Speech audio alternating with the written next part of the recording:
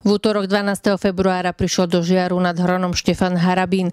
Na stretnutie s ním prišlo niekoľko desiatok ľudí. Aké témy rozoberali a na čo sa ho najviac pýtali? Niektoré veci sa neľahko počúvajú vzhľadom na sociálnu situáciu v štáte, kedy teda u nás zomrelo skutočne za posledných 12 rokov 40 tisíc ľudí na vyličiteľné choroby. Keď zistujeme, že 800 tisíc dôchodcov má menší dôchodok ako 500 eur. To sú veci, ktoré sa dotýkajú každého občana a musíme to napraviť, pokiaľ exekutíva tvrdí, že ekonomika je v dobrej kondícii, že máme vyrovnaný rozpočet, no tak potom nič nebráni tomu, aby sme z tohto vyrovnaného rozpočtu dali pre tých ľudí, čo celý život drali, pracovali, platili dane. Najcitlivejšia je práve otázka migrantov, hej, opravnenie ľudia sa e, boja, mainstreamové médiá zamlčavajú, čo sa deje v západnej Európe. Druhá otázka je potom sociálna,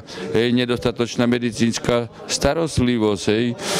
To isté otázka e, vzdelania, v akom stave e, je školstvo, aké postavenie má učiteľ, veď toto musíme zmeniť.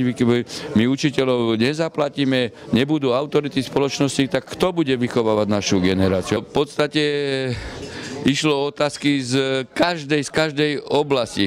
Hej, niek, e, niektoré lokality sa koncentrujú hej, na sociálne veci, ale tu boli aj sociálne veci, marginálne e, skupiny, štátnosť, NATO, Európska únia, takže ako tu z každého súdka boli otázky.